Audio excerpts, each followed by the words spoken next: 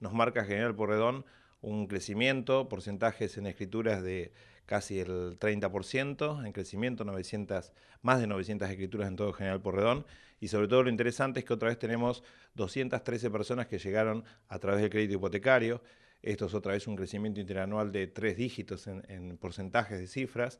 Esto significa que casi el 23% de las operaciones de escrituras en el mes de junio tuvieron que ver con el crédito hipotecario y te está marcando que desde marzo a esta etapa de junio tenés cuatro meses consecutivos donde más de 200 marplatenses lograron llegar a su vivienda a través del crédito hipotecario. Por lo tanto, esto me parece que es lo interesante de ver que, que, vamos con cuatro meses consecutivos de números importantes en el crédito hipotecario, como es tener una cantidad de más de 200 marplatenses que llegan a su vivienda a través del crédito. ¿no?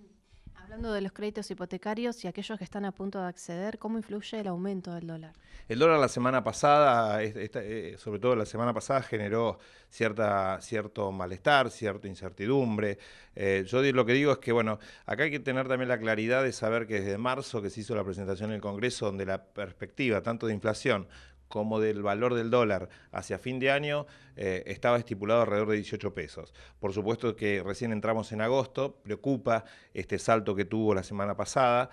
Eh, yo creo por mi experiencia que también siempre las, elecciones, cada vez que hay un, acto eleccionario, eh, se producen estos cimbronazos a veces con la moneda del dólar.